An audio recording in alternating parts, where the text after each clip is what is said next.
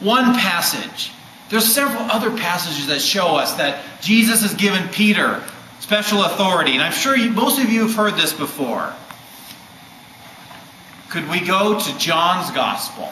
A couple books later. John chapter 21, verse 15 through 17. When they had finished breakfast, Jesus said to Simon Peter, Simon, son of John, do you love me more than these? He said to them, Yes, Lord, you know that I love you.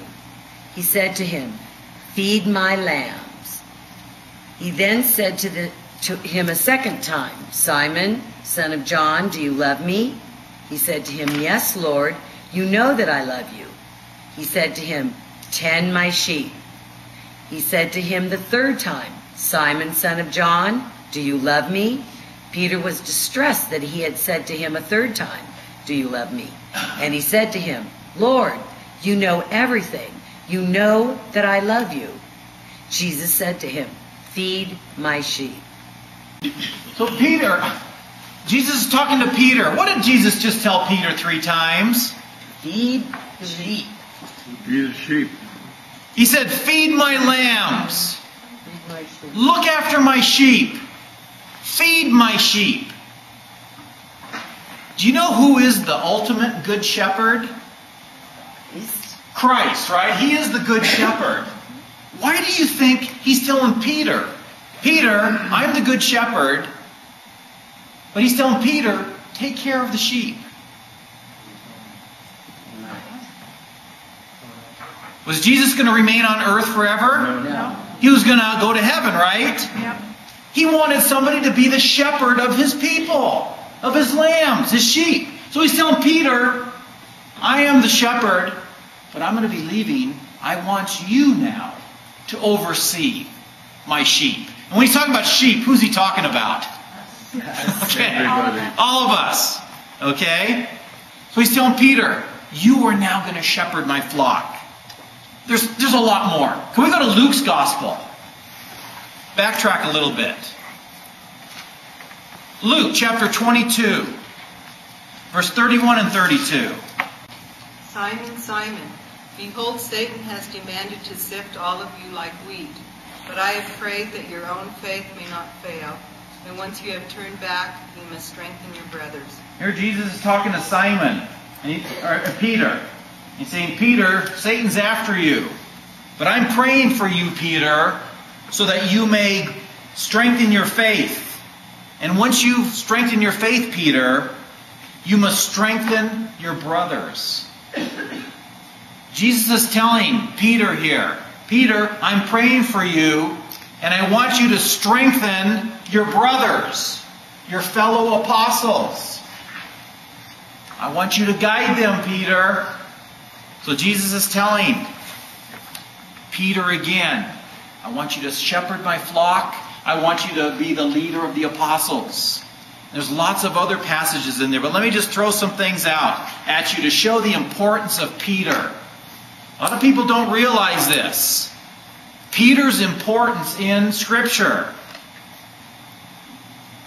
Peter, the only person in the New Testament that had his name changed. Do you know, do you realize Peter wasn't his original name? Simon. Simon. Remember what his original name was? Simon. Simon. It was Simon. But Jesus went in and changed Simon's name to Peter. Rocky. Okay. Peter means rock. Jesus changed his name to rock. And just a little bit of background history in Scripture, God only changed the name of a couple people in the entire Bible. Does anyone know some of the people some of the people that God changed the name? Abraham. Abram to Abraham, Jacob to Israel. There weren't very many people, but every time God changed the name of a person in the Old Testament, God selected that person for a special role in his salvation plan. And now in the New Testament, only one person ever gets his name changed, and it's good old Peter. So signifying God has a special purpose for you, Peter. Another instance. Do you think if you were the CEO of God's church, Do you think your name might be listed more than other people in the Bible? Isn't usually the leader listed more? When you look at the New Testament, Peter's name is listed 195 times. 195 times. The closest other apostle is listed only 29 times, which is John. Again, Scripture just points out these things to us that Peter is an important guy. Whenever there's a list of apostles in the New Testament, when they list out a string of apostles, guess whose name is at the very front of the list? Peter. Peter. Why do you think his name is listed first in line? Because God told his church. Because he's the head apostle. Just think if you were to list the, the governmental structure of the United States, who would be number one on the list? George Bush, right?